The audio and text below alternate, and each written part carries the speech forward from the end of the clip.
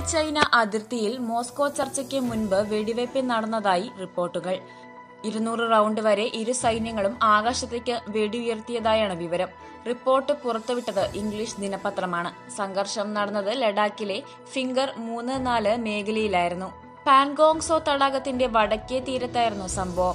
ഇത് ചുഷൂൽ വെടിവെപ്പിനേക്കാൾ തീവ്രമായിരുന്നുവെന്നും റിപ്പോർട്ടുകൾ പറയുന്നു.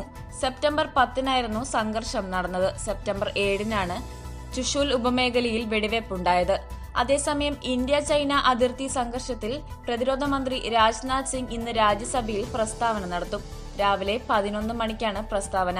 സമാധാനപരമായ പരിഹാരത്തിനാണ് രാജ്യം ശ്രമിക്കുന്നതെന്നും പരമാധികാരത്തിൽ വിട്ടുവീഴ്ചയില്ലെന്നും ഇന്നലെ ലോക്സഭയിൽ പ്രതിരോധ മന്ത്രി വ്യക്തമാക്കിയിരുന്നു.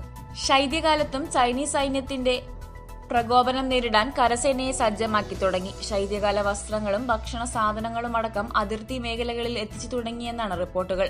അരുണാചൽ അതിർത്തിയിൽ ചൈന കൂടുതൽ സൈനികരെ വിന്യസിച്ചെന്ന റിപ്പോർട്ടുകൾ വരുന്നതിനിടെ കരസേന അതീവ ജാഗ്രത തുടരുകയാണ്.